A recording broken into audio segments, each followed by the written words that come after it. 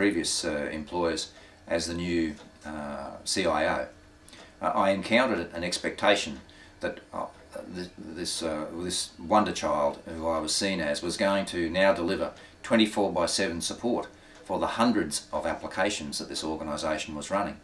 I thought this is a very dangerous expectation and I have to get out there quite quickly and quash it. So I uh, prepared a PowerPoint presentation and went around to everyone who would listen to me uh, delivering the message that 24 by 7 was not on. Uh, that, that was the name of the presentation.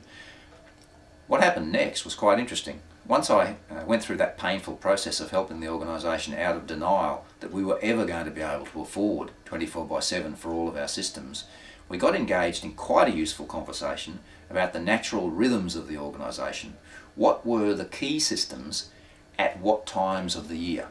What critical business events meant that certain systems, not all systems, but a very small number of systems, were critical for those key periods, for those key business events.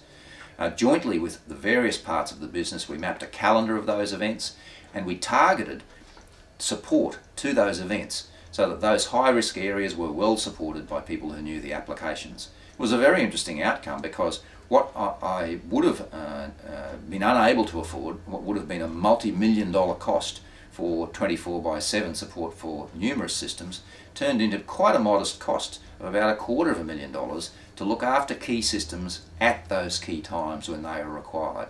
So I think it's a great example of having a very detailed conversation with the business. But the interesting thing for me was the trigger in the first place. It was really important for me to be prepared to go out there and challenge an unrealistic expectation in order to then encourage the necessary conversation about what was realistic and what could be done.